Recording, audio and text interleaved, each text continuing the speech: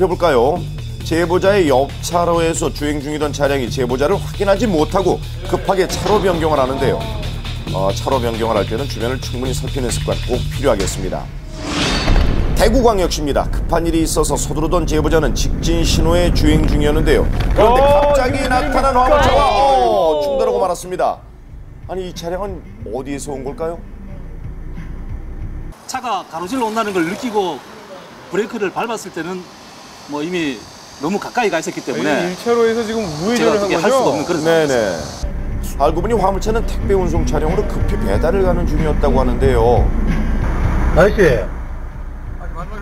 아, 운전 그럼 어쩝니까? 아이고. 택배 차주분한테 제가 나중에 물어보니까 아 자기도 너무 바빠서 그 당시에 왜 신호를 안 보고 우회전을 했는지 자기도 기억이 없답니다.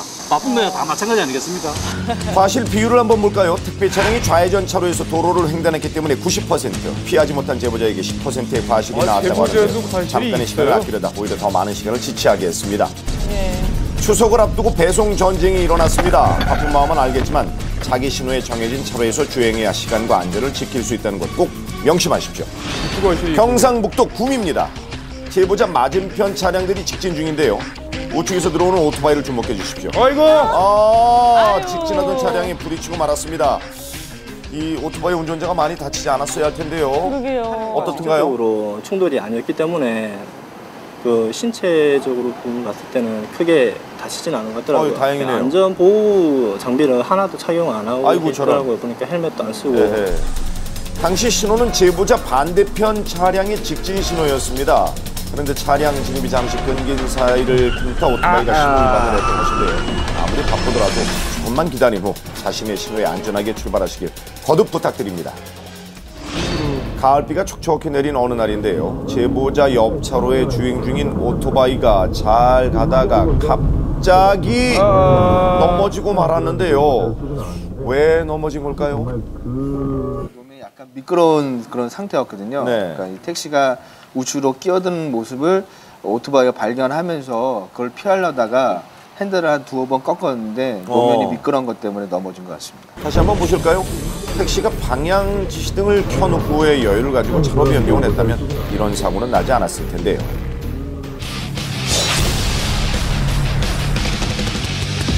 자, 여기는 대구 부산 고속도로입니다. 제보자 옆 1차로에 주행 중인 트럭을 주목해 주십시오. 사다리를 지금 싣고 가는데, 어이구, 덜컹거렸습니다. 아, 제보자의 차량 앞으로 아이고, 사다리가. 날아왔는데요. 범퍼와 충돌한 후 바닥으로 떨어졌습니다. 제보자는 놀라서? 속도를 줄였는데 그런데 어, 가네요. 트럭은 계속 가버리네요. 예. 그 앞에서 이제 섰다가 이제 그냥 가더라고. 그래가지고 잡으러 갔죠. 네, 사다리가 앞 유리로 날아왔다면 큰 사고로 이어질 뻔했죠. 놀란 마음을 진정시키고 한참을 달려서 드디어 트럭을 발견했습니다. 예. 아, 갓길 정차를 요도해서 트럭 운전자와 대면할 수 있었는데요. 트럭 운전자는 뭐라고 얘기하던가요? 왜 그러냐고 그러길래 뭐 이 차에서 사, 이게 사다리 떨어져가지고 제, 제가 맞았다. 그래서 죽을 뻔했다. 어허. 그러니까 자기는 떨어진지 몰랐대요. 아이고. 묶었으면 거의 뭐 떨어질 일이 없는데 예, 사다리 하나도 도로 위에서 위험한 무기가 되기도 합니다. 따라서 적재물을 싣고 주행할 시엔 작은 곳이라도 꼭 잘 잠금 장치를 해두셔야죠. 아이 기본이죠. 제보자는 집에 가던 길이었습니다. 어린이 보호구역에서 서행하던 중 옆차로에 있던 버스에서 지금 어, 승객이 내리는데요. 아, 생각지 못한 상황이라 피할 수가 없었습니다. 같은데요? 어떻게 됐나요? 버스 정류장이 아닌 데서 아니, 사람을 일단 안 승객이 되죠. 내리니까 저도 당황스러워서 브레이크를 밟았는데 그 승객이 다치신 아유, 거죠. 결국 저도 다쳤군요. 좀 놀래서 한 3일은 저도, 저도 누워 있었거든요. 그런데 승객은 왜 버스 정류장이 아닌 곳에서 내렸을까요? 예. 알고 보니 버스 운전기사가 승객을 불법 하차시켰다고 합니다. 아저씨 지금 버스 정류장 아닌, 아닌 데서 하차를 하셨지 않느냐 내려주시면 어, 어떡하냐 그랬더니 아저씨가 그때서야 내리시더라고요.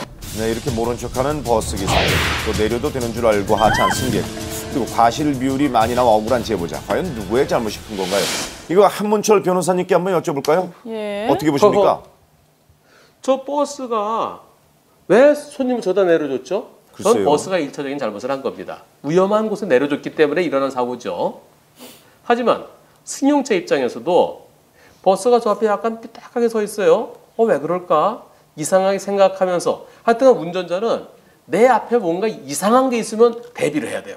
내릴 때 혹시 다른 차가 있나 없나 뒤로 한번 보고 네. 안전할 때 내려야죠. 근데 저거